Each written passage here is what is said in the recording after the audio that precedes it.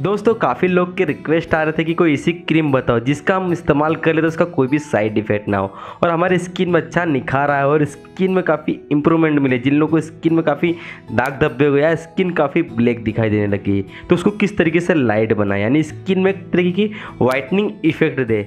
तो आज मैं जो आपको क्रीम बताने वाला हूँ, उसका आपको कोई भी साइड इफ़ेक्ट नहीं होगा और उसको इस्तेमाल करके आप काफ़ी अच्छा स्किन में इंप्रूवमेंट ला सकते हैं। आपका स्किन टोन भी बढ़ा सकते हैं। तो आपको करना क्या है? इस वीडियो को भी लाइक करना। और आप इस चैनल पर पहली बार वीडियो को वॉच करो तो ज़रूर सब्सक्राइब करना और सब्सक्राइब करने के साथ साथ बेल नोटिफिकेशन को ज़रूर प्रेस करना ताकि आने वाले वीडियो की नोटिफिकेशन आपको सबसे पहले मिल सके। सबसे पहले हम बात करें इस क्रीम के नाम की तो Koji care skin lightening cream ये क्रीम खास स्किन को लाइटनिंग देने में बनाई गई यानी कि स्किन में एक वाइटनिंग लुक इफ़ेक्ट देगी।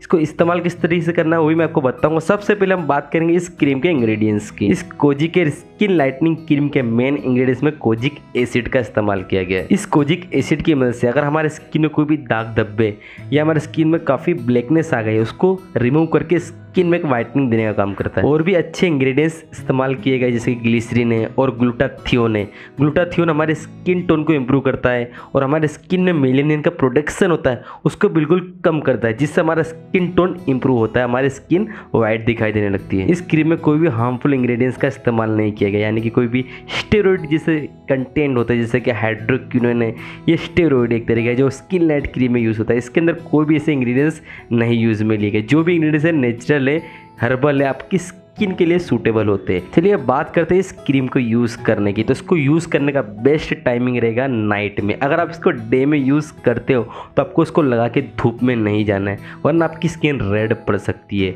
अगर आप इसको नाइट में यूज़ कर रहे हो तो रोज़ाना इसको यूज़ नहीं करना है। एक दिन छोड़ के इसको यूज़ करना है। और इस क्रीम को लगाते वक्त एक बात का आपको खास ध्यान रखना है ऑयली स्किन पर नहीं लगाना है। स्किन जब आपकी ड्राई हो, तभी इसको यूज़ करना और ज़्यादा क्वान्टिटी में नहीं लगाना और बिल्कुल कम भी नहीं लगाना, वरना आपको रिज़ल्ट नहीं मिलेंगे। और इस क्रीम के रिज़ल्ट आपको थोड़ा स्लो देखने को मिलेंगे। यानी पंद्रह दिन तक आप इसको यूज़ करोगे तो आपकी स्किन टोन धीरे धीरे इंप्रूव होगा। लेकिन बिल्कुल वाइट नहीं होगा, जैसे स्किन लाइट क्रीम का जो रिज़ल्ट मिलता है, उस तरीके का इस कोजी केयर का रिज़ल्ट नहीं मिलने वाला। लेकिन आपका जो पहले का स्किन टोन था, वो काफ़ी अच्छा इंप्रूव हो जाएगा। चलिए दोस्तों, बात करेंगे इस Koji care skin lightening cream की प्राइस की। तो पंद्रह ग्राम के पैकेज में आती है, जो आपको लगभग एक सौ के आसपास मिल जाएगी, जिसकी लिंक आपको नीचे डिस्क्रिप्शन बॉक्स में दी गई है। वहाँ पर जाकर आप चेक कर लेना। तो उम्मीद करूँगा दोस्तों, ये वीडियो आपको ज़रूर पसंद आएगी। तब मिलता हूँ नेक्स्ट वीडियो में, तब तक के लिए टेक केयर